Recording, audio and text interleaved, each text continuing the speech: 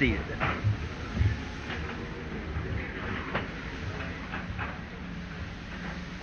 Just listening to that old song, Only Believe, kind of stirs me up. And then come in and have a welcome like that, you just feel like taking your position. Well, I, I'm happy to, to be the associate pastor of the Life Tabernacle. I like that word life. I spoke on it this morning, life assurance. and uh, I hope that everybody's got a policy, because we certainly need it. Must have it to have assurance. Now, I suppose they've announced that there's going to be a baptismal service just in a little bit. And so we are looking forward to that time of this baptismal service. And we're going to try to turn loose just as quick as we can. I was a little tired and I come early. Billy called me and said, won't you come early tonight? So they're going, won't you let out early? I said, what is early? And since I stepped out of time into eternity, why, I don't have any more time. I just don't know uh, what time is. We don't measure anymore, Jim. we just let it alone. Jim, you got the tapes back there, I suppose. I guess they've been announced from the platform here. And I don't know how people put up with them, but they go around the world. And they're back there, hundreds of different messages from different parts, prayer lines. And so this boy here, his father-in-law and them, there's a, they have a machines are constantly going almost day and night making them. And we just, they sell them just at such a margin, they just barely can get by with selling them. And so if you want them, they're there, plus books and so forth, and tabernacle literature here. And so we uh, meet people all the time say, uh, you know, I was playing a certain tape, I got saved. Uh, certain things that's been a blessing to the people. And that's the reason we let them go out is because they bless somebody and help somebody. Now, I want to read a scripture tonight found in Romans 8:32. And we'll get right down to talking in a few minutes. 8, Romans 8:32 reads like this: He that spared not his own son, but delivered him up for us all, how shall he not with him also freely give us all things? I was speaking this morning on assurance, and now tonight we're on investments rather, and this night he gives us all things. Now let us pray. Our Lord, we have assembled here for no other cause than to talk of you, sing of you, testify of you, and bring glory and honor to thy name. And we pray that you will bless our assembling together, that your great presence will come and will provide for us everything that God requires of us this night. And our request is before Him for closer walks, more salvation, greater experiences, healing of the body, and so many things, Lord. Thou knowest them all. And if ever come into our minds, what if we didn't have a Heavenly Father that we could come to? What if we had nowhere to unload ourselves? If we had no sin barrier? Oh, what a miserable people we would be.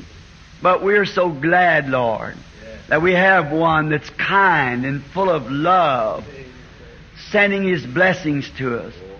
We're grateful for them, Lord, though we may not express it just right, but you know our hearts, Lord. And I pray that we will find grace in Thy sight tonight in our singing, in our worship, in our attitude in preaching, that you might supply to us tonight all our requests. For we asked it in Jesus' name. Amen. At tomorrow morning Sunday school and tomorrow night uh, the closing of the, I suppose, revival, jubilee. Not, I hope it's not the closing of the revival, but just the closing of this general gathering. And then I hope the revival continues to go on and on. Now, if you will give me your undivided attention just for a few moments, and I will try to speak on a subject of all things. And I teach it more or less like a Sunday school class because I'm, you know but now that I'm not a preacher. So I just have to do the best I can as stabbing at the Word. But I do it and don't stab at it exactly until I believe and firmly believe that I know what I speak of, for I've experienced what I'm talking about. Jesus said, We know what we believe. We are experienced. I thought this morning that the little uh, uh, Greek uh, priest that was with us in the fellowship breakfast, what a wonderful little character, and kind of seeking after a deep experience. I've got a another little Greek priest that was led to Christ through the tapes. His father is a Greek Orthodox teacher, high esteemed man in Greece. He came over here to finish his education, got a hold of one of the tapes, and he, at first he criticized it. And then he came and was baptized and received the Holy Ghost. And he said, Brother Branham, I know you don't know Greek because I understand you don't know very good English. But said, if anybody who really knows Greek, and he's a Greek scholar, said the continuity of your talk with Greece is absolutely perfect. Putting the scriptures together, that's why he was baptized over. and he said, uh, it's, it's, a, it's a phenomenon. And just knowing you don't know it, but where you put your scriptures together, the continuity of your scriptures runs in the Greek. So I think I'll have him come up and see this little brother a while. He would be a very big help to him. And now, pray for us all things. We can't speak of all things, but all things are ours through Christ. And if He spared not His own Son to bring this to us, how much more will He bring it? If, he, if we're willing to receive it. Now, I can't speak of all things, but I, I want to speak of one certain thing of these all things. And I think that's an important thing. That's pardoned. I love that word, pardoned. Actually, the word means a release from guilt. And what an experience that is to everyone who has had an experience of it. To be released from guilt. Not trying to turn away through some a form of psychology, turn away but be pardoned. That means it's put away. There's no more to it, it's forgotten. To turn away from anything, you could turn back to it. Like sins at one time were covered, but now they're not covered, they're divorced. They're completely gone. Put in the sea of forgetfulness to never to be remembered no more. I like that. Amen. I know jokes are not proper in a pulpit, and especially in a Pentecostal assembly. But to make a point, I was told once that a young lady who had a father that was constantly weeping and shouting when he read in the Bible about his sins being pardoned. So the young girl got married and moved into town and belonged to a, a formal sort of a church with many societies and and the ladies' society was to be entertained in her house and she wondered how she's going to keep her daddy quiet during this time because he got really emotional. So she said, Well, if I give him the Bible, he'll cry and shout all the time. So there's only one thing that I know to do. I'll just give him the geography and put him up in the attic. Just let him look at the pictures. About time they got ready to serve their pink tea or whatever they do, you know, there was an office commotion upstairs. Screaming and jumping and rolling around and bouncing up and down and screaming, Hallelujah, Hallelujah. All the women got scared and they run upstairs and she jerked the geography out of his hand and said, Daddy, that's not the Bible. That's the geography. He said, I know it. But said the other day I was reading in the Bible where my sins being pardoned was put in the sea of forgetfulness. See, buried into the sea. Now see here in the geography where the sea is so deep that you can't even find the bottom of it sometimes. Say they're still going on and on. So I think that's what pardon means. It's completely erased. Not just turn aside and give something a try, but it's erased, it's gone. Not turned aside, but it has been, we have, through pardon, we are released, not by psychology. We're not released by a creed. We're not released by emotion. But we are released through the power of Calvary. We are pardoned free. Oh, what it means to be free. A burden off your shoulders, out of your heart. A free person. I had a little experience the other day. I guess I shouldn't say it here, but I want to say it.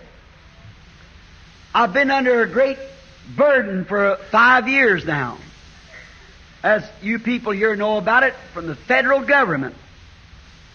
And they were trying to find some way to arrest me. In uh, meetings in these 16 years on the field, they had traced back and picked up checks that people had made out personally to me in the meetings and had my name on it and me endorsing it, turned it into the tabernacle for expenses. And the federal government uh, income tax collector said that those checks were mine personally. No matter what I'd done with them, if like some brother signed a check at the window for so many thousand dollars for an overseas trip, then he signed it, just pay from his foundation to the order of William Branham. I signed it and put it in the Tabernacle Foundation. We kept every check, everything, brought it back. He said, but when you signed it, it was yours. Then you turn it over to the Tabernacle. There's no way of beating it. That's all. So, oh my, over the coals and back and forth. And they said this is going to make me, I owed them with delinquency and with all my meetings, three hundred and something thousand dollars. I said, I can pay it at a dollar a year. I hope I live long enough to get it done. And, but I rejected it. I said, I pay my taxes. I, but there it is. They say you owe that too. Well, up and down, and they've been years searching for character. And I say this with my Bible open. Man sitting present who was there and know it, that not one cent did they ever find that I spent for myself, only the kingdom of God. That is right. So the attorney called me in the other day and he said, Brother Branham, the government is ready to compromise. After five years, I had a the Eisen Miller at Indianapolis. Was suggested to me by Brother Arganbright. I couldn't leave the sta- nation. I was under uh, control of the government, a federal case. And I thought, my, what have I ever done? And he said, well, this is what you've done. You ought to know better. It wasn't defraud because I placed it into the church. Just as people would make out a check, they wouldn't know to put in a foundation. They just made out William Branham. Well, when that goes through the clearinghouse, it's a photostatic copy made of it. So they had every one of them. But they seen where I deposited them back here in the Branham Tabernacle to pay the expenses and so forth, and the overseas meeting. Well, back and forth. And then he said, you, you, they want to compromise with you. And I said, well, I don't know it. He said, well, now here's what, Brother Branham. Said, I believe you have 99% chance if they call you to trial. Said that they can't indict you, but they're trying to call you to trial to say that you owe it. And when they do, they're going to have about 1% chance on what they say that your name was on it and you endorsed it. Therefore, it was your property, and then you turned it to the tabernacle. Said they could get a case against you. And it all been deposited, on deposit in the church and so forth, which we were using as a non-profit foundation. Back and forth. Brother Gordon Lindsay here this morning, he come up and fought for me, and uh, everybody tried it, but there's no way of doing it. They just held it right down. And uh, he said, uh, here's one thing, Brother Branham. Then when he told me what it would take to compromise, it scared me to death. And I said, I couldn't do that. There's no way for me to do it. And he said, well, now here's one thing. Said, we can take the case and we're your attorneys. But if we go there and have the case, there is a chance that we could tell them that these were unsolicited gifts and was untaxable. Then you get an inheritance tax. And there they might drag it over another four or five years. And I said, oh my. I said, I don't want that. I'm about, I said, I never had a gray hair when this thing started. and I said, just the thought of trying to accuse me like of being a crook or a thief. And I said, how does it come that they can take a minister who's trying to preach the gospel and prove to use the money for the kingdom of God to convert criminals and so forth and make this a better place to live and want to make you do that when the cigarette companies and the whiskey with vulgar television and everything else put cancer in you from smoking and everything else like that and can write it off, that advertisement for their income tax for the government. It's just not fair. I said, it's not fair. You're not treating me fair. He said, that's for the government to decide. And I said, God will make the last decision. That is true. So I held on. Then the, the attorney said, here's what, Mr. Branham. And I was so thankful for that. He said, There's, we can't find one thing against your name. But if they ever call you to trial and being a minister with your reputation, they'll mud it across the nation. Going to a trial. What happens then? Said no matter how innocent you're proved, among many people you'll still be guilty. Like that precious Baptist brother down here not long ago. That a woman said he come into her house and insulted her. You heard about it. It's over here somewhere in the South. And about three years ago, or maybe not that long. And that minister proved with his congregation that he was 150 miles away for days before and the same day and many days after. Even the courts wanted to turn around and ask the minister if he wanted, she wanted to, he wanted to sue the woman for slandering the minister's name. Said, let her go. And did you see that popular vote across the country? Quickly they slammed his name everywhere. And the people said, 70% of the Americans said, Oh, where there's smoke, there's fire. Now, that precious brother will have to linger under that all these days when he's as innocent as anybody here. Well, there you are.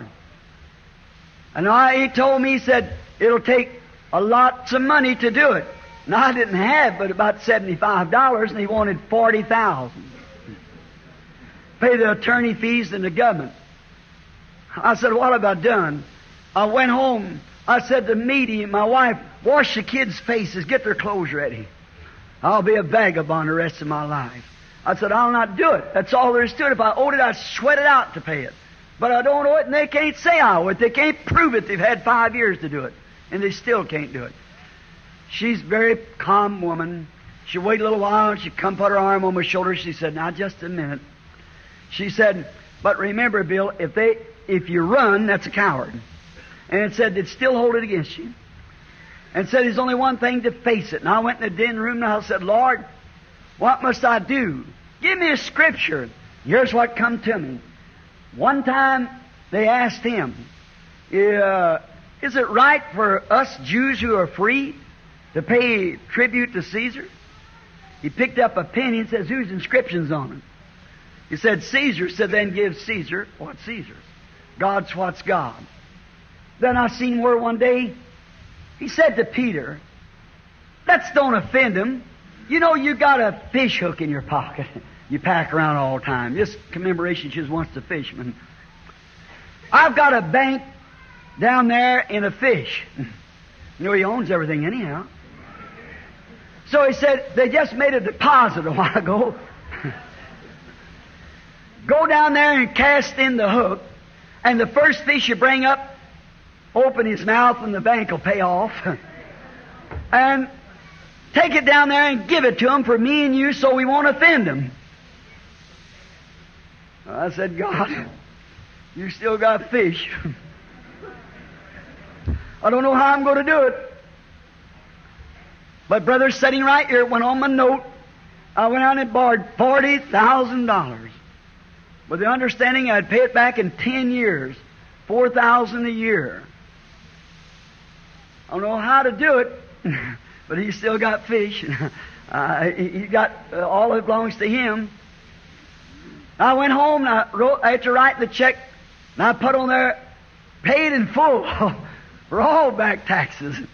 I thought, would the government accept it like that just before coming down here? I thought I'd better call the bank. I called the bank and the teller went in and looked. He said, yes, they accepted it, Billy. You're free.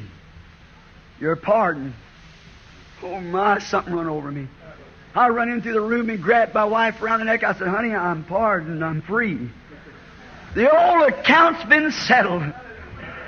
I can go now wherever I want to. Wherever the Lord leads me, I'm free. Oh, what a thing to be pardoned. Something I couldn't help. And also my sins was something I couldn't help. I was born with Adam's nature in me, but somebody pardoned me. Rubbed the old account away one day, and I was free from that day on. I'm so glad. When man sinned, he crossed the great chasm, or chasm rather, between him and God. He separated himself away from God. And there was no way left for him to ever get back. He was absolutely across the chasm from God with no way at all back. God, rich in mercy, wonderful in grace, accepted a substitute for him. Let him make a substitute, an animal offering, to take his place. The blood was the only thing that could pay the price. There was nothing else could pay the price. Nothing else could do then, and nothing else has done since, and nothing else will do after. Blood and blood alone. God's first decision was to pardon a man by shed blood. And God cannot make the second decision against his first decision. If he did, then his first decision was wrong, and he couldn't be wrong and be God. Therefore, he only has one way. And that's the way of the blood. His decisions are perfect and eternal because that He's God and His Word is eternal and His decisions is His Word and it's perfect. You cannot add anything to it or take anything away from it. Since that time, that's been God's only place of fellowship to meet with man. Before there, he met him in the Garden of Eden. No blood had to be necessary. But since that time, his decision was to meet man back redeemed by blood. It's been the only place that fellowship could be observed by God. It's the only place that God can meet a sinner, and we're all sinners by nature. It takes the blood sacrifice to bring us back into fellowship with Christ again. No other way. It's absolutely, totally. From Adam until now, man has tried to make his own substitute. Man has constantly tried to do it. from fig leaves to education. He's tried to make himself a substitute. Adam expressed what was in man when he tried to make his own way back by fig leaves. Since then, they've built towers, they've built cities, they've built idols, they've built civilization, they've built denomination, they've built scientific regimes, and all these things, but still it remains the same. Only blood will God accept. God only accepts a man through shed blood.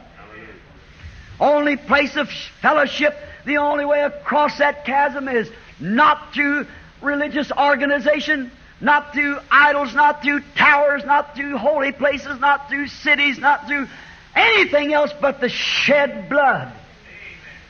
That's the only way back. A preaching of the cross. Although as it despised as it is, is God's provided way for sinners to come in fellowship with God or with each other. Right. All through the years, the righteous has lived by that decision of God. The righteous never argue about anything. The righteous are ready to accept God's decision. He doesn't want to make anything for himself. He's only interested in God. And he wants to abide by God's decision. And the righteous live by it. Always have. For it's the way that righteous should live by.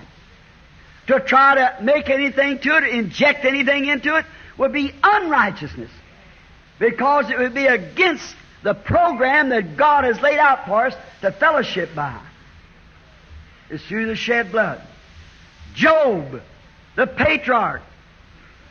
How Job, I believe the book of Job was wrote before Moses wrote Genesis. Is my understanding. The oldest book in the Bible.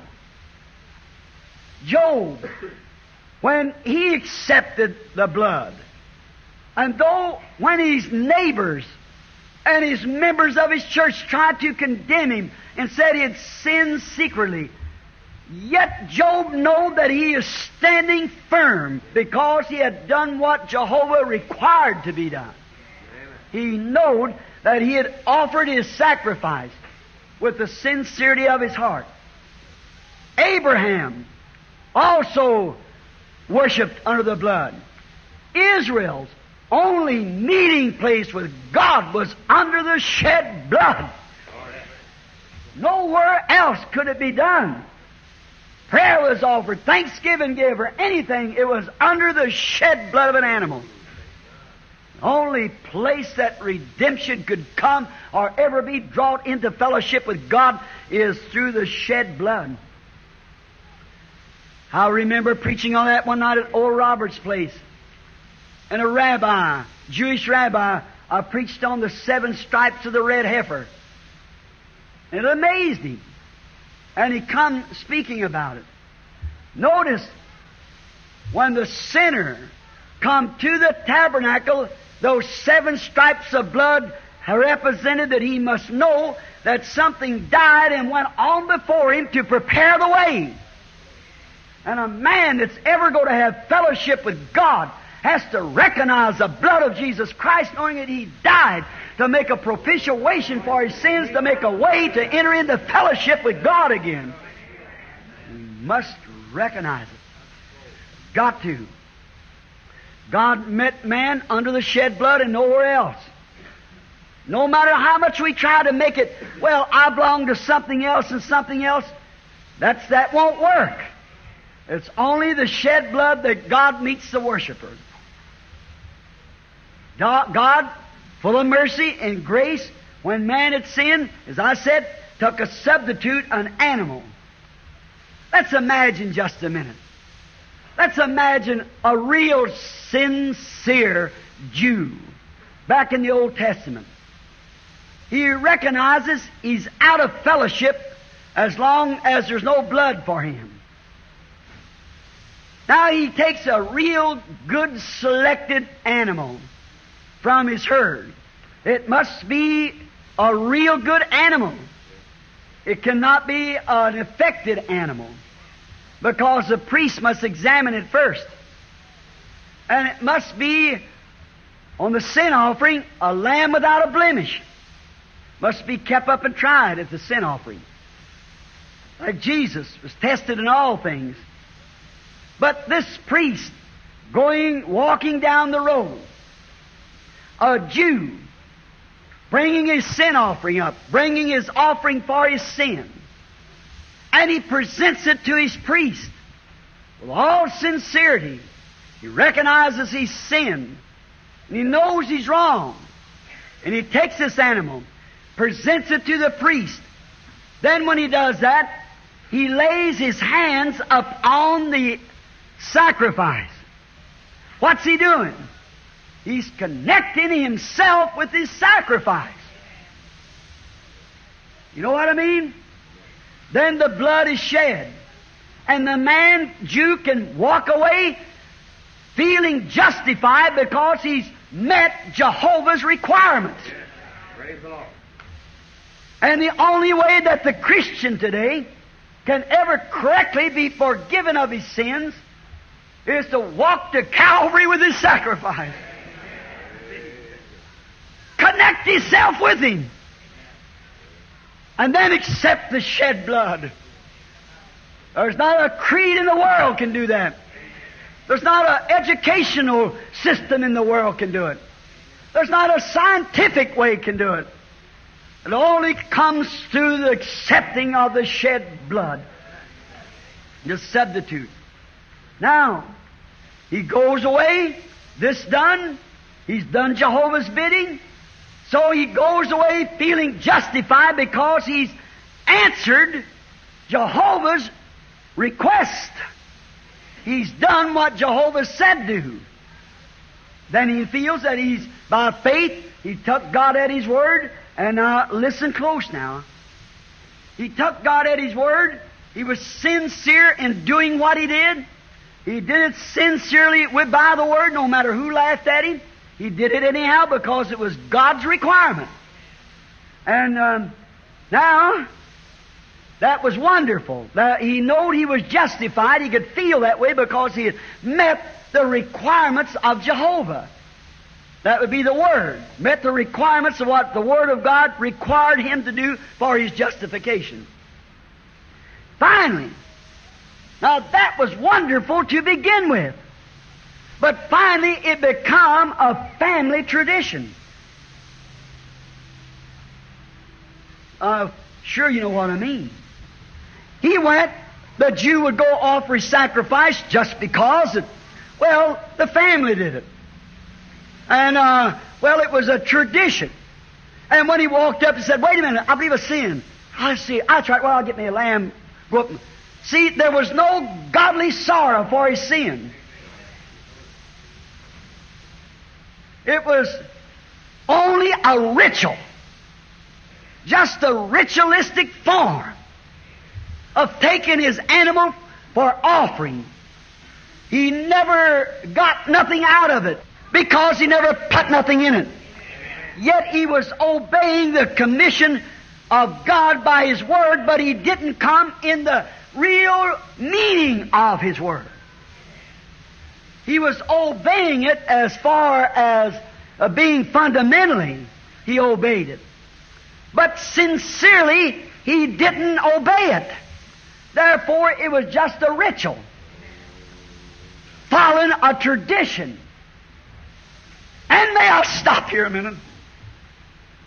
Do you see what I'm hammering at? Day after day and night after night.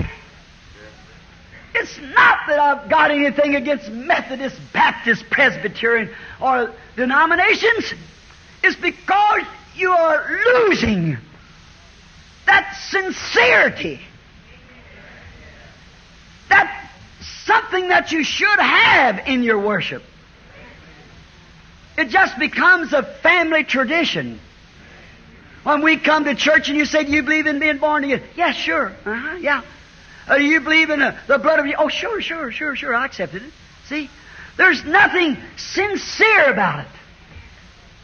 When he goes to make his offering of sin and takes the communion, he just takes it anyway, whether he's smoking, drinking, running with somebody else's wife, or, or women acting anyway, and they go take that communion. When do you realize that the Bible says if a man eats his flesh and drinks his blood unworthily, is guilty of the body and the blood of the Lord. We've lost the sincerity. There's something wrong with us. Our solemn feast ain't like it used to be. This might be appropriate for this time. There's something or other that we can't even stay awake hardly. To a, a sermon. And if it's, it isn't here that way, but in many places, somebody's always pulling on my coattail. Hey, hey, hey, we got to do so and so. What's any more important than the going forth of the Word of God? That's what I try to think. The street meetings that used to the old fashioned preacher stand there and preach till the blood, blood and sweat as it was run down into his shoes. Have a street meeting today, it's a lot of singing, a lot of something else, and brother, somebody tries to lead in prayer and prays for the president and everybody else and goes through for about an hour and the people's done walked away. The Word is the main thing. The Word. But we've lost the interest. Sometimes I appreciate testimonies. I appreciate music and all those things, but that isn't it. It takes the preaching of the cross. It takes the circumcision of the Spirit to bring life. There's where our sincerity's gone away. It's been a time that we noticed the great sincerity when a man knows that it's wrong for these things to creep into his church and then don't tell him about it? Where is that deep sincerity? A minister told me, he said, You're going to lose your ministry. I said, God gave me this ministry. And if the Word of God preaching that makes me lose it, then I miss the boat somewhere. God will honor His Word. He's waiting for it. Now, the sincerity. We don't have it. It seems to be such small interest. It should be in time of this Jubilee right now. After we know and are positive of these things. It should be that Shreveport would be buzzing like a buzzsaw. The jail ought to be full hanging out the windows preaching the gospel. The street corners ought to be full of men and women testifying to the power of God. Yet we believe it, we say. But we've lost the sincerity and the enthusiasm that it is to receive it. Now that's the truth.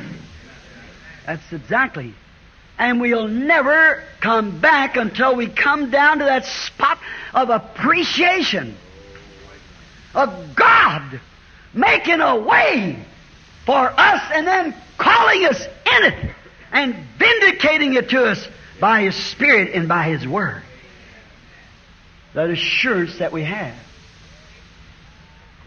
What a tragedy it is to see the churches in this condition.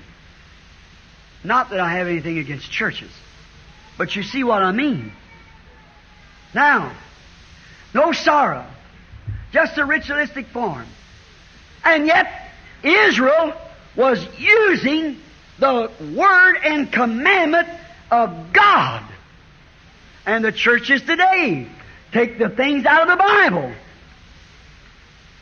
But there's no sincerity with it. And when Israel begin to take the Word and commandments of God and make it a ritual, That displeased Jehovah, the giver of it. It was about that time when they made God's Word a ritual that that mighty prophet, Isaiah, appeared on the scene. Read it, Isaiah 1. He was sent to Israel. They hated him and finally sawed him to pieces. But what did he do? He stripped them. He said, Your solemn feast God has refused. He said it's become a stink in his nostrils. What was it? The feast that God ordained for him.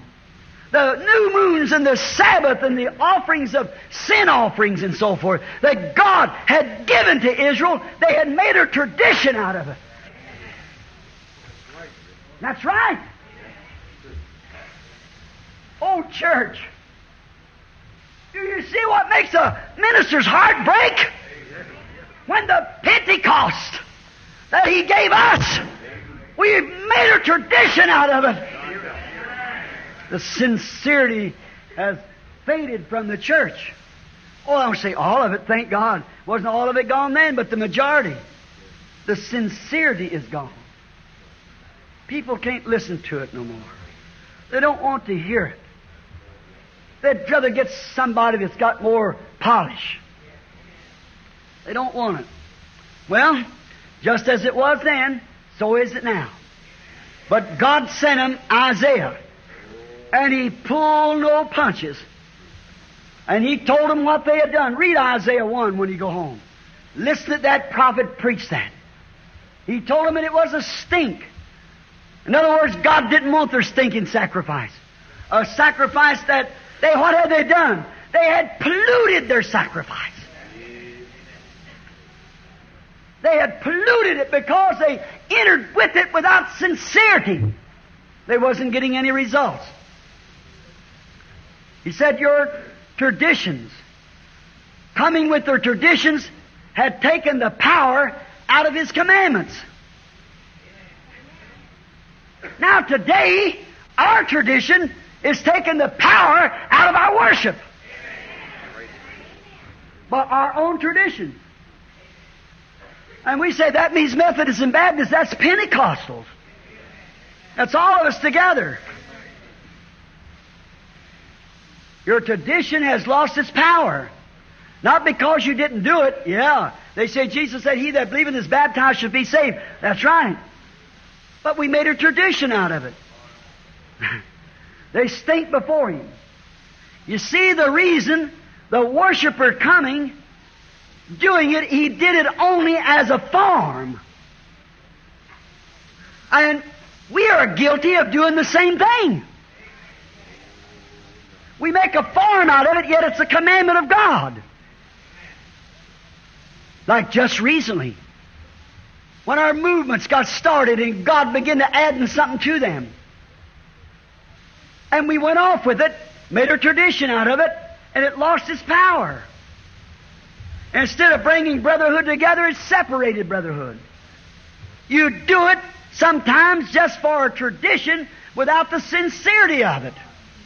You've got to enter the feast of God with sincerity. No real sincerity, no real sorrow for sins. People come up the altar, and many of them take a lot of music a little dancing, clapping of hands, maybe run up and down the aisle, and maybe just speak with tongues. Now, I believe in speaking in tongues. I believe in running up and down the aisles. I believe in the clapping of hands. But if there isn't some feeling behind there, if there's some sincerity that Jesus Christ has cleansed you, not doing it because Miss Jones did it, but doing it because there's something in you pulsating. The sorrow for your sins and the joy of the victory that you share in the resurrection of your sacrifice. The evidence of your eternal security. How can you not be sincere in that? Now, I believe a man can shout and not be saved. I believe he can run and not be saved. I believe he can speak in tongues and not be saved. I believe he can do any of these things and not be saved. But you can't class everybody that does that now. The other side says there's nothing to any of it. But there's somebody sincere in that. There's somebody got the genuine results because he entered it sincerely upon the basis of his faith in the shed blood. And he got the right thing. But the other one's only mocking. And there's too much mocking going on. Too much impersonation. Carnal uh, impersonations. Carnal comparisons. If you come seeking the Holy Spirit and let Him, the faith that you've got in Him, add to that virtue and to that brotherly kindness. 2 Peter 1 7.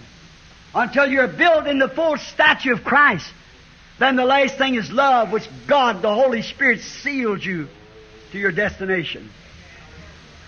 You can't impersonate, you can impersonate it, but as I said last night, it's just like a, a blackbird putting peacock feathers in his wings and saying, See, I'm a peacock. He just added them, pushed him in. If there's something on the inside of him him push him out, he'd actually be a peacock. Certainly. But some people are trying to do something to look like somebody else or impersonate somebody else because they thought they did it. And you see what it does? It brings us back into a ritual and form again. It's the blood of life that electrifies and sanctifies your life. That's right. Isaiah spilled it out to them and said, God said that He is hiding His face from your prayers. You've got your ritualistic form, yet it's the truth. You're doing what He told you, but you're not doing it in sincerity, and you squall out day and night, but God said your sacrifice is a stink to me, and I will not receive it anymore, and when you pray under such conditions, I'll hide my face from you. Oh, God, if people would think of that, it would start a Pentecost.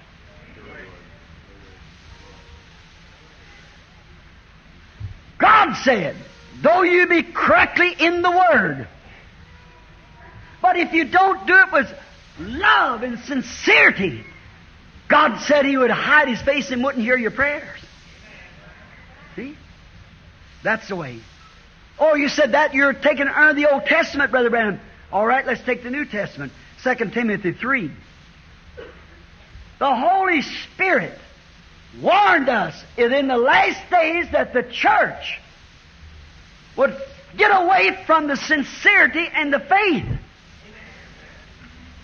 They'd have a form of godliness, but would deny the power that went with the right thing. Having a form of godliness, but denying the power thereof. Yes, sir. God hates a powerless religion. And any religion today that hasn't got Christ in it is powerless. But any religion that Christ in is under His own blood. And it's got power in it. You say God hates a religion without power? He said your solemn feast is a stink. I guess He does hate it. He said it, it makes me sick. And remember, He told this rich Laodicean church that because you're lukewarm, you, in other words, you make me sick, I'll spew you out of my mouth. And we've come to that age. God sent us in Isaiah to chop the thing to pieces. Lay it out before the people. Cry out, spare not. You think he'd be accepted? Certainly not. But he'd cry just the same. Solemn feast. There's stink. God hates powerless religion.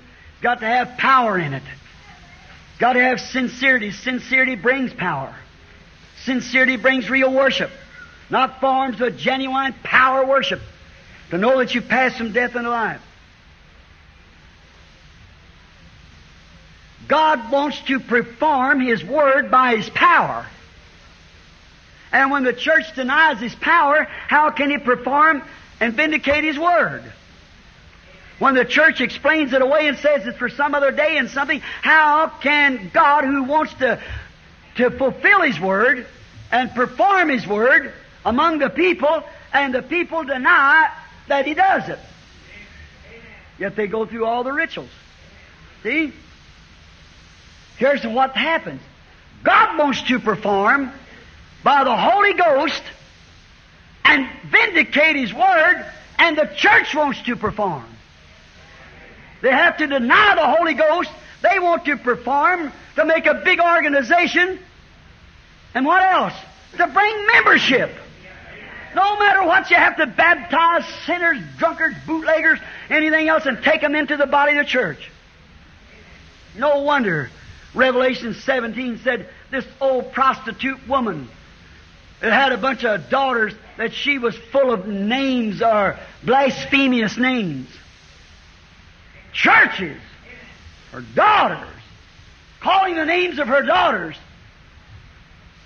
People who join churches and call that got salvation, it's a blasphemy. Now I know the King James here said names of blasphemy, but you look in the Diaglott and see if it is. It says blasphemous names. There's quite a difference. She is full of those. She's got 900 and something different organizations in her. Plenty of blasphemous names. Got away by some man-made tradition. Got away from the true worship. Power out of it. Oh, you say, I went down there and there's a lot of power. Brother, the whole floor was dancing in the Spirit and not enough faith to heal a toothache. You call that power? That's not power. That's blessings. There's a lot of difference between blessings and power. God makes His blessings upon the righteous and unrighteous. The sun shines. And? We got to get back to truth, friends. We got to come back to what God means, what He says He means. See? And He refused their wants, hid His face from their prayers. And look, friends, if God spared not the original tree who did that, what about the grafted tree? We've got to be sincere. We've got to do these things right. God wants to perform and bring forth the Holy Spirit to operate in His church. The church wants to perform and bring forth its creeds to make members. That's the difference. To do the first, God wants to send the Holy Ghost, which was the leader of the church. He should do that, and the only way the people can keep from doing it is to reject it. And when you reject it, you take the power out of the operation. So it leaves you a dead hull. The word killeth, the spirit giveth life. Right. Like the engine setting on the track. All the coach all polished up and fine dressed people sitting in it and no steam in the engine. what good's the thing anyhow? A few weeks ago I was uh, about eight months ago, a little more, I saw a vision one night of two fellows, one in one bar room and one another, fussing at one another to their congregation as they were talking to. Finally, they met in New York in the middle of a street, dug a hole like, got in there, and one killed the other. And I said, somebody's going to get killed. They're a nice, tall young man. About a month after that, them two prize fighters fought the grudge and one killed the other. Setting up in Colorado a few months ago in a, a little cabin. I went and said to my son, my wife, my daughter-in-law, and them, last couple of hours something happened. I saw a young lady, a beautiful woman, and she had kind of thick lips, looked like I'd saw her somewhere. And she's, she was trying to get to a doctor, and she died. And the spirit that was speaking to me said, Now, they will say that she committed suicide, but she died with a heart attack. And said, It's just a little before four, but you can say it was four o'clock. And the vision left me. I told him, What did that mean? I didn't know somebody's fixing to die. When we come out of the mountains two days later, that uh, movie star, what's that woman's name? Marilyn Monroe. She was kind of a striptease, or, or you read her story. She was an illegitimate child. Her mother's in the insane institution. Poor little girl probably had a hard way. And she always hungered for something. I wish I could have got to her. I know what she needed. I knew what she needed, yet she'd joined churches and everything. But see, it's just a ritualistic form. She needed the application of the blood. See? Now, I guess there isn't a sex fiend in the country, but what and had her picture. She's supposed the most perfect built woman, as I understood, there was in the world. But if that anatomy is so great, then watch, when the life went out of her body, they had to give her a number to lay in a room, and nobody would claim her body. So, which is the important part? The soul or the body?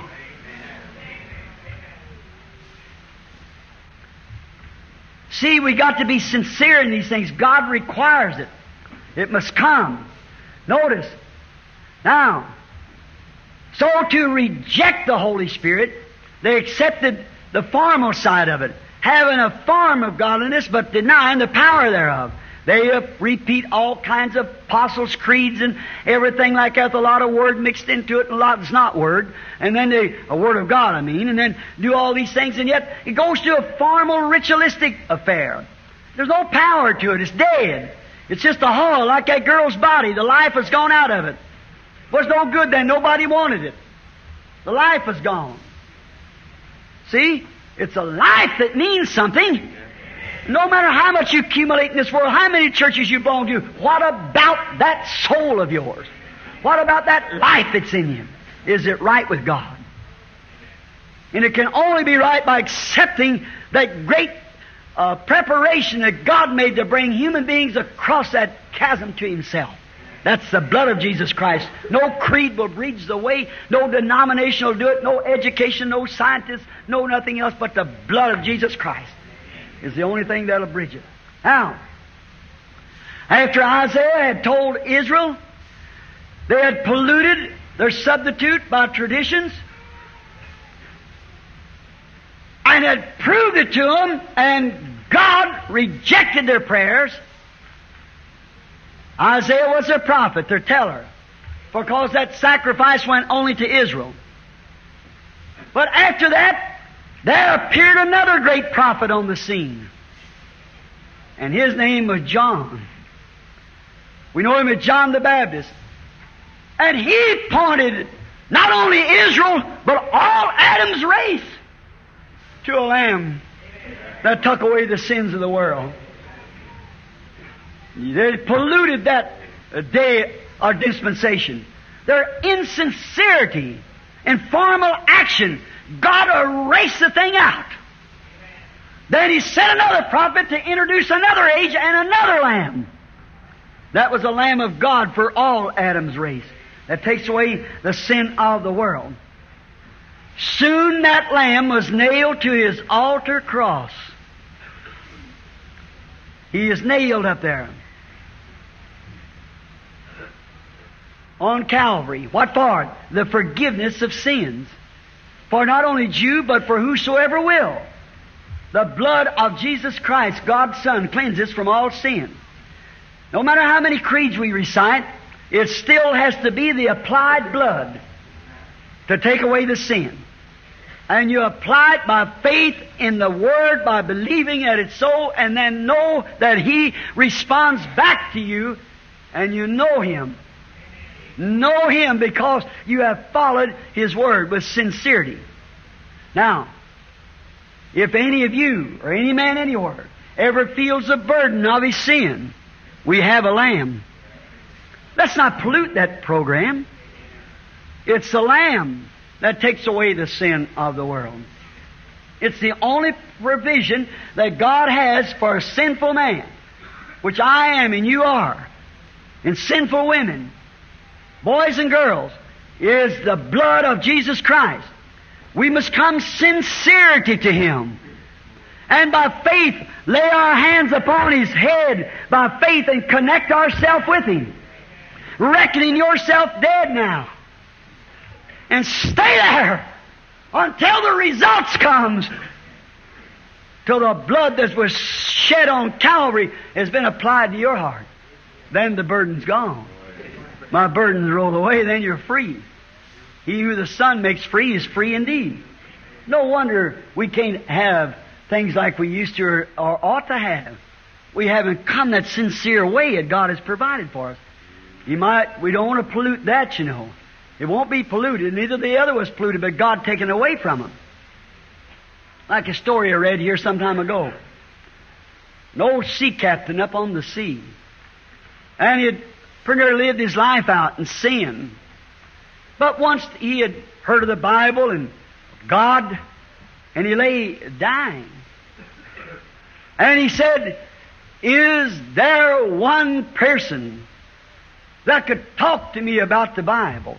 Or is there one Bible on my ship? See, you'd wait a long time to think about that. But God's full of mercy, grace. And they found a boy that they'd picked up on the ship. And he had a Bible. And he told him, he said, Come in, son, and sit down by my bed and read me that Bible. And the young lad turned to Isaiah 53 5, and it reads like this He was wounded for our transgressions, He was bruised for our iniquity. The chastisement of our peace was upon Him, and with His stripes we were healed. The little boy turned, and he said, Captain, sir. He said, Yes, lad. He said, Let me read it the way my mama used to read it to me. Said, I read you the way it's wrote in the Bible. But here's the way that mama used to read it to me. Said, Go ahead, son, read it the way your mother read it. Said, Mama used to set me up on her knee and read, He was wounded for Willie Pruitt's. He was bruised for Willie Pruitt's iniquity. The chastisement of Willie Pruitt's peace was up on him, and with his stripes, Willie Pruitt was healed. Old captain said, I wish that I had a mama like that. Said maybe my name could be read into it. Little boy said, Just a minute, Captain. He said, Let me read your name in it. Said, He was wounded for John Court's salvation. Amen. He was bruised for John Court's iniquity. The chastisement of John Court's peace was upon him, and with his stripes, John Court was healed. Light flashed over the old captain's face. He said, Close the book, son. I see it. When you can read your name in there. He was wounded for William Branham's transgressions. He was bruised for William Branham's iniquity. That's when peace comes. Not just that it was just a wholesale affair. It was for me. It's an individual. I was included in that. With his stripes, William Branham was healed. Then it's different. There's one more thing I'd like to speak of here in our pardon. And that is, after we receive our pardon, we receive purity with that pardon. Now, if you're just making out like you got pardon, you haven't got purity. Now you say, can you prove that, Brother Branham? Mark this down. Hebrews, the ninth chapter, 11th to the 15th verse. The worshiper once purged has no more conscience of sin. If you're really pardoned, the very guilt, the very desire has left you. Hallelujah. It's all gone. Amen. Purity goes with genuine pardoning. So if we claim pardon and still not pure, how can we claim pardon? When pardon generates purity. See what I mean? Cleansing. What cleansing you from what? Cleansing you from all connection of formal, dead, traditional works. Amen. Cleansing us from dead tradition. How can you still remain in dead tradition when you're pure from it? Now, you read that in Hebrews 9.11, see if that's right. It cleanses us from the filth of dead former works when we have been pardoned by the blood of Jesus because it's the sanctifying power that goes with the pardoning. And we're cleansed from all of our dead works. Now, when we do that, we come to the communion in the right way. We come to the communion remembering Him.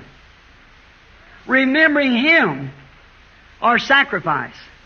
We remember Him, our peace. We remember Him, our purity. Remember Him, our cleansing. Remembering Him when we kneel at the cross. Not half drunk, not living in adultery, not with malice, hatred, and strife, but we kneel at the cross by faith, by His feet to accept His pardoning. We come in that condition to the communion. In very sincerity. Not just say, I should go. You go there because you're deeply sincere. It's between death and life. Yes, sir. You go and remember your traditions no more and you're cleansed from your sin. That's one place. When you kneel there in sincerity, Methodist brother, Baptist brother, oneness brother, two-ness brother, or three-ness brother. If you kneel there in sincerity, your traditions are gone. That's right. Trinity, oneness, Baptists are all cleansed and are sons of God. Traditions and fussing is over. You don't think about it no more because you're clean and pure. See? You're brothers. No matter what some traditions said don't have nothing to do with them, you're at the same cross, it's the same fountain, you're blood brothers. Oh my.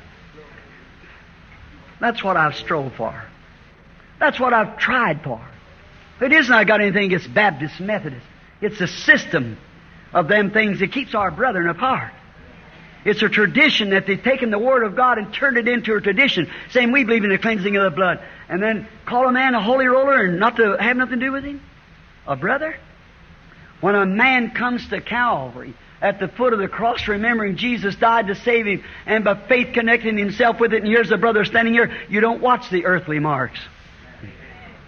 Color, creed, or nothing else. He's a brother. Yes, sir, traditions and fusses are over. You can fellowship. Here is the way and the only way that you can be pardoned. The only way that you can come is by the cross through the blood, and when you do that, traditions and dead works, you've been purified from them. There were, I can't make everybody be a Baptist. If I was a Methodist, I couldn't make them all be Methodist. If I was a Pentecostal organization man, I couldn't make them all be oneness, or couldn't make them all be Trinity, or Church of God, or what more. No, sir, they won't do it. But here's one thing in my belief in doing it is to make all men brothers through the shed blood of Jesus Christ where we can all meet at the same cross. Remembering our sacrifice. God accepted that, and that alone. It reminds me of an article I read not long ago in closing. There's a man and his wife go to separate. They began fussing, spatting, quarreling at one another. They just couldn't get along. They could hardly live in the same house together. So they decided to divorce, and they applied for the divorce. Then they made an agreement they'd meet at the house and would divide their things so it wouldn't have to go through the court. And they met in one room and divided what was in that room, the next room divided what was in that room. And finally, they come to a place that they went up in the attic, got an old trunk down. And when they began to take little articles out of the trunk and laid it one side or another, looking across at one another, don't you cheat me. I'll have you sued if you do that. Just like some Christian traditions do. And after a while, they run into a little white shoe. And the daddy picked it up. And their mother put her hand on it. They looked at one another. In a few moments, as in one another's arms. What? A little girl that once belonged to them. That was something they had in common. It was all over. Divorce was annulled. They were in one another's arms again. They had something in common. And when the Baptists and Methodists and oneness and two-ness and threeness, brethren, when we can come to the cross and see something that we got in common, it's the blood of Jesus Christ that cleanses us. We can put our arms around Him and He around us and can fellowship together under the blood of Jesus Christ. That's the only way I know. Let's pray.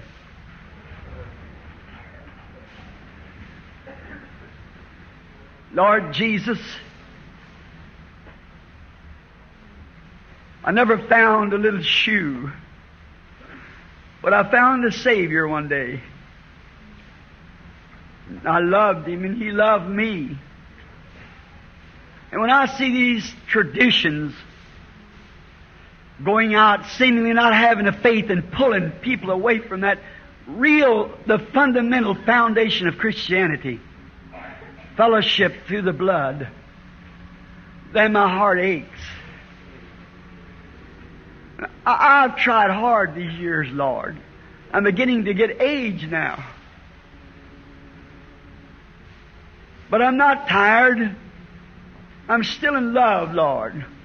I love you and I love my brother because that you love him too. And may I be privileged to live to see the day when we all can meet around the cross. And the fussing will be over then. The chaff will be burned, but the wheat will be gathered to the garner. Grant it, Lord. And if there be some in here tonight, Father, that has never thought on this and maybe trusted in some creed or trusted in some emotion, but see the, the, the very reflection of what's inside of them by the way they live and act and do. They feel the burden of guilt.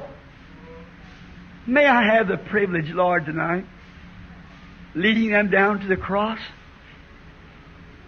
Grant it, Lord. I want to show them where there's a fountain, where we can stand together. I commit them to you, Lord. And while you have your heads bowed, do you feel that weight that you'd like to get rid of? Is it, is it crushing the inside of you? Yet you tried to join church, you tried to do good, but it, you just couldn't get rid of it. Raise up your hand. I, I won't ask you to come up. God bless you. God bless you. God bless you. Oh my, God bless you. God bless you. All over the building. I feel that weight, Brother Branham. Oh, I, I've tried to dance it away from me. I've tried to shout it away from me. I've tried to join church and get away from it, but Brother Branham is still there. Sweetly now, let's come down to Calvary. Not go down to some organization, not go down to some system, but let's go down to Calvary. There, both of us together, put our hands on the sacrifice. We'll have things in common then. You notice in the healing lines? He's never respected whether they were Baptist, Methodist, Presbyterian. Why? He was wounded for their transgressions. With his stripes, they were healed. He's the Lamb that takes away the sins of the world, which we're part of. Won't you receive it now while we pray? Heavenly Father, at this host our hands up. Heavy hearts and heavy bosoms tonight of men, women, boys, and girls. They found a little shoe too. And they know that there's something wrong in their lives. And that's the only thing that can make it right. Is that stream there from Calvary. And we come by faith now to the shed blood and we lay our hands up on our bleeding sacrifice. We feel His flesh tearing in ourselves. We feel the thorns and the nails. By faith we do this. I see what He did and it was all for us. Not that He had to, but He's willingly to do it. And He was wounded for our transgressions my name in it, Lord, with each one of us. He was bruised for our iniquity. The chastisement of our peace upon him. And with His stripes, we were healed. Gladly do we accept it in reverence tonight, Lord. I believe it. I accept it in reverence. I believe it. In Jesus' name, receive them, Lord, into your kingdom. The Bible said, as many as believed on him, gave he the power to become sons of God. So I, I, believe, Lord, that you will accept it because in the, not in a form that we're supposed to come to the altar and do this, but in sincerity. We believe it. We accept it in the, the sovereignty of the Word, in the bonds of His love, in the fellowship of His grace. We accept it, Lord. I accept it. No other fount I know, nothing but the blood of Jesus. Save, heal every broken soul, Lord. In Jesus' name I pray. And commit them to you. Amen. Now, to you who feel that you have been to Calvary and you believe this to be the truth, and you have never had Christian baptism yet, the services will be going on just in a few moments downstairs. But it's later than I thought it was going to be, and yet I quoted in Isaiah 50, uh, 53 5 and he was wounded for our transgressions. You believe that? He was bruised for our iniquity. You believe that? The chastisement of our peace, where we ought to have been chastised, but now we have peace because he was chastised for us. And our rebuke was upon him, and with his stripes we were healed. Physically healed. You believe that? Do you accept it? Do you believe that He remains the same yesterday, today, and forever? Do you believe that God that wrote the Word always follows the Word, watches over it to confirm it? He keeps it? Will you believe it? Then you look to Calvary.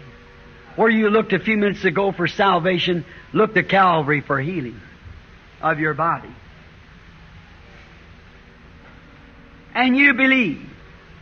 Here lays on a cot a child. I wished I could heal it. I can't, it's already. Here sits a fine looking man, young fella, sitting in a wheelchair. I wish I could heal him. I can't. There sits a lady sitting in a wheelchair. I, I don't know what's wrong with him. But I, I can't do it. It's already done. There's people out there with heart trouble, cancers. Go to die. Something isn't done. Wish I could help you. You believe I would? Sure would. If I could take a quarter and lay it out on the street and push it around the city with my nose, everybody laughing at me, see you get healed, I'd do it. God knows that. I certainly would. But I can't do it because you're already. But God has sent me to point you to the place where it was done for you. Now, with sincerity, come to it. With sincerity, the woman at the well looked upon Jesus when he said, Go get your husband. She said, Sir, I don't have a husband. He said, You said the truth because You've had five, and the one you have now is not yours. She said with sincerity, Sir, I believe that you are a prophet. Now, we know when the Messiah cometh, he's going to do these things, show us these things. But who are you? He said, I'm he. Not with the deepest of sincerity, she accepted it. The little woman with the blood issue had spent all of her money. She just wasn't going down haphazardly. She spent all of her money on doctors and none of them could help her. And she come believing sincerely Not to say somebody else done it. As far as we know, nobody else had ever done it. She started something. She said, I believe that man so much that if I could touch the border of his garments, I'd be made whole. She just wasn't saying that. She believed it. She was sincere in it. No doubt it cost her her membership in the church. It cost her a lot of things. But she was sincere. She was, she was determined to do it. And her sincere touch on the border of his garment stopped him in his track. And he looked around and said, Who touched me? When Peter rebuked him, said, All the multitudes are touching you. He said, But I got weak. Virtue's gone from me. And he looked over the audience till he found the woman and told her about her blood issue, and she felt in her body it stopped. And she was healed from that hour. Now that's the one that gave his life and was striped for your healing. The price is already paid. God accepted it. Their sins are gone. God accepted it, justified us by raising him up and proving he accepted it. Not only his death at the cross, but his resurrection. And now sends his Spirit forth to witness his word. How could we doubt it? If you're sick, our Bible said that Jesus Christ is the same yesterday, today, and forever. He's a high priest that can be touched by the feeling of our infirmity. In this great moment, I've suffered with sickness. I'm your fellow citizen. I'm your brother. And I know what it means to be sick. And I know a place to go. In that hidden place of faith to touch His garment. Say, Lord Jesus, sincerely I come now. I'm sincere in this, Lord. You know my heart. You told me I could touch you. You was a high priest. I'm coming to touch you. Let me just have a touch, Lord. Something anchors back said, You got it. Thank you, Lord. Thank you, sir. My Savior. I believe it. Don't you never leave that post. It's yours. Then, if He's risen, would He do the same thing today if He is alive? You believe He's alive? Because I live, you live also. Then He is alive. Then if He is alive, then He'll be the same as He ever was. Is that right? Now you believe. Now don't, now I'm going to tell you, look towards me, but I don't mean that in a way, in, I mean it in a way like Peter and John said to the man at the gate, look on us. That means give heed to what I'm saying. You believe that I've told you the truth. Let's put this thing to a test and see if it's right. Prove all things, the Bible says. I can't make him do it. But he promised to do it. That's where I hold it. He promised if he'd do it. The works that I do shall you also. He that believeth on me, and God knows, I believe I've been to Calvary years ago. I believe He keeps His word. You believe it too. If I could heal that child, I would do it. But I've told you, your child? I can't heal it. And if Jesus was standing here with this suit on, neither could he. He had asked you if you'd believe this word tonight. By his stripes you were healed. Say, I haven't got much faith, Brother Branham. Did you hear him say if you got faith the size of a mustard seed? A mustard seed faith won't perform a miracle, but if you'll hold to it, it'll bring you out. Just anchor it, that's it. The spastic. If you'll believe that God will make it well, He'll do it. Will you believe it? Will you accept it? God grant it. You. You got a broken bone in the back. I've never seen you in my life, but that's what's wrong. I can't heal you, but you couldn't hide your life. Do you accept it?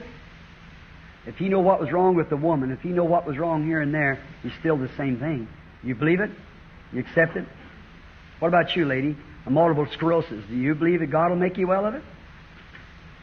How you could have rheumatism or anything. Your life you couldn't hide. You believe it. For he was wounded for your transgression. With his stripes you were healed. You believe it? That's exactly what he said.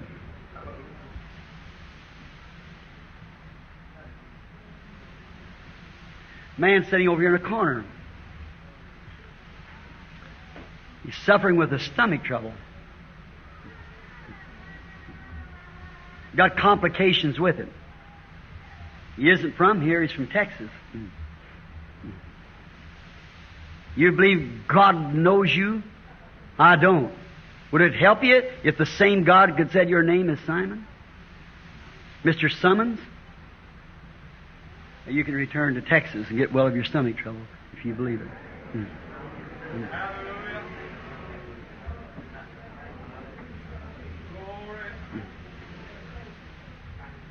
The man sitting here bothered with sinusitis. I don't know him. Never seen him. He's from Shreveport. Mr. Wallace? You believe? Is that true? Raise up your hand. Your faith makes you whole if you believe it.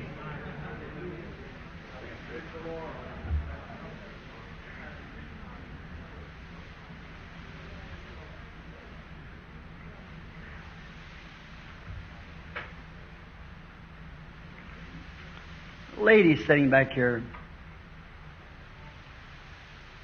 She's got a rupture. She's got a child with her that's retarded. I don't know her, I've never seen her. But she's not from here. But she believes me, believes the word that I'm saying. She come from Arkansas, from Hope, Arkansas. Her name is Miss Jackson. Believe it, lady? Go and be healed. That struck far away in the back of the building. A lady with a little boy that can't learn in school. She's not from here either. She's from Mississippi. Miss Stringer. Believe with all your heart. And the little boy will get well. Thou canst believe, all things are happy. A little aged woman sitting right here got cancer, dying. Many, do you believe you'll get healed? Believe on the Lord. Now, I challenge you to believe it.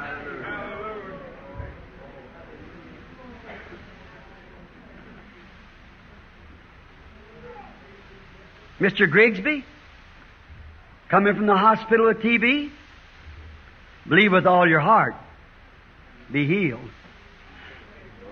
I never seen a man in my life. What is it? Apply your name. By his stripes we were healed. Do you believe it? Then it's his presence. He was wounded for our transgressions. Then if he can do that, it proves that he's here with his word. Now, our transgressions and sincerity is forgiven. Our iniquities are gone. We have peace with God through our Lord Jesus Christ. His stripes heals us. He proves it to us. We are forgiven. What does He do? Pick out that sincerity. What's that person anchored to the cross? Visit these people, whoever it was. I see another one. Just keep on believing. Let me ask you something. Do you believe it with all your heart? Jesus said, These signs will follow them that believe. How many believe? Then lay your hands on one another. If you're a believer, you're as much his child as I am. What is it? It's a vindication that he's here. Oh, can't we come in sincerity now? After his word? After his presence? That's the very God that'll judge you on the judgment day. Oh, God, have mercy tonight. I pray, Heavenly Father, that the blessed Holy Spirit, the living Christ, not an idol, not a city, not a tradition, but a living Christ that's raised from the dead, honoring His Word, when He's preached in the power of His blood and His resurrection. These are believers. The last commission you said, These signs shall follow them that believe. If they lay their hands on the sick, they shall recover. Lord Jesus, I'm praying with them. I'm at the cross. They're at the cross. We got everything in common. Here's the blood of Jesus Christ. Here's the Son of God with us, proving Himself to be here. We put our hands upon His quivering body. We accept our healing. And our Satan, we adjure Thee in the name of Jesus Christ. Come out of here and leave these people that they might go and be made well through the power and the resurrection of Jesus Christ.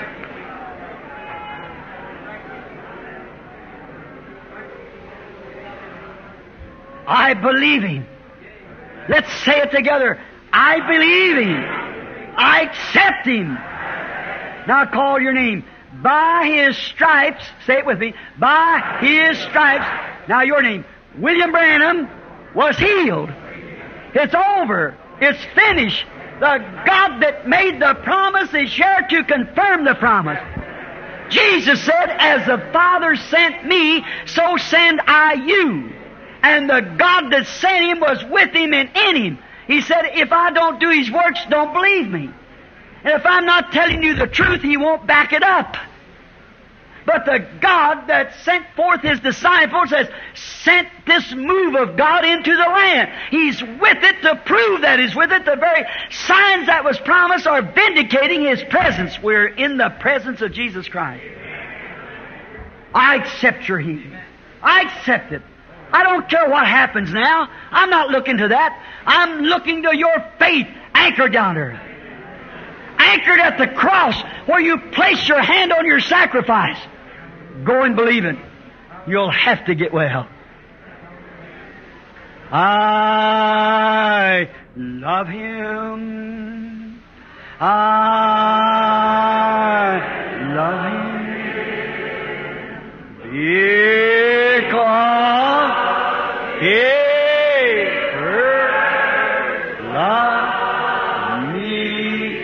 Keep your hand on your sacrifice now. And purchase my salvation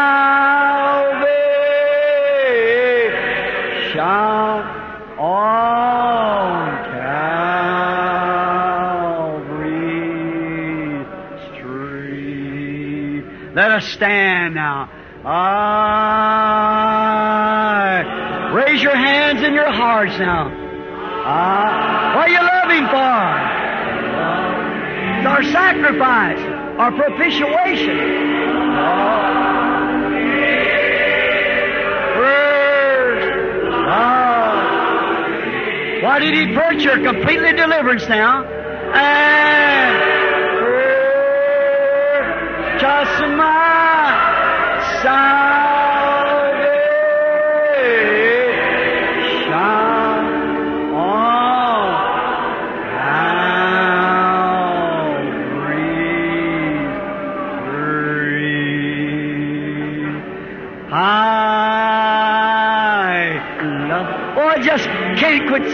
somehow.